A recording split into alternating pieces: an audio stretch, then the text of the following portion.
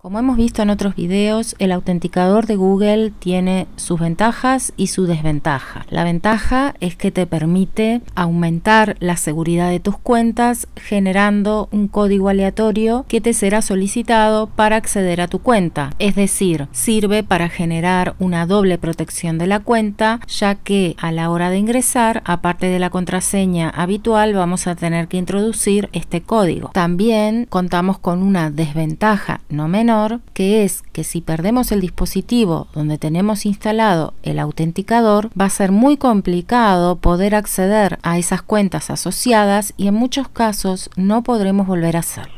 Entonces existe una manera de poder utilizarlo de forma segura y de que en caso que perdamos, nos roben o deje de funcionar ese dispositivo, no tener ningún problema para acceder a las cuentas. Para ello tenemos dos opciones. En primer lugar, cuando nosotros instalamos el autenticador, nos va a pedir un código generado por Google. Si estás viendo este video, seguramente ya tengas instalado el autenticador y ya habrás hecho este paso. En caso de no tenerlo instalado, dejo aquí arriba el video para explicarte cómo lo instalarías. Entonces, eh, vamos a acceder a ese código. Por si no se acuerdan, eran configuración de la cuenta de Google, seguridad y dentro de seguridad, verificación en dos pasos. Aplicación autenticador, configurar, teléfono Android y aquí accedemos al código. El código no cambia, es un código fijo. Entonces, en este caso lo que vamos a hacer es guardar un respaldo del código.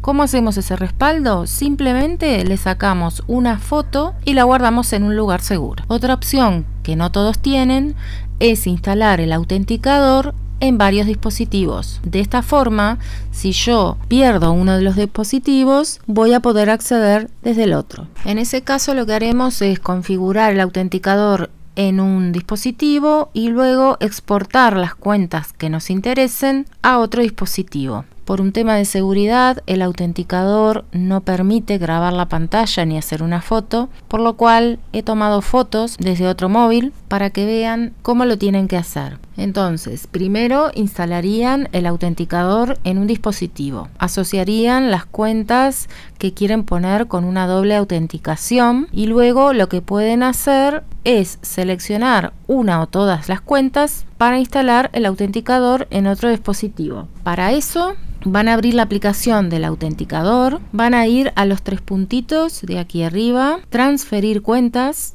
exportar cuentas y aquí me muestra las cuentas que tengo configuradas en este autenticador. Selecciono la que quiero, siguiente y aquí me va a dar un código para que yo lea desde el autenticador de otro dispositivo. Escaneando este código haríamos listo y ya quedarían configuradas las cuentas que yo he elegido en otro dispositivo adicional. En el caso de que este video llegue tarde y que ustedes no hayan tenido un respaldo de la configuración del autenticador y no puedan acceder a sus cuentas, les dejo aquí arriba el videito donde explica cómo hacer para recuperarlas. Y esto ha sido todo por hoy. Nos vemos en la próxima. Chao, chao.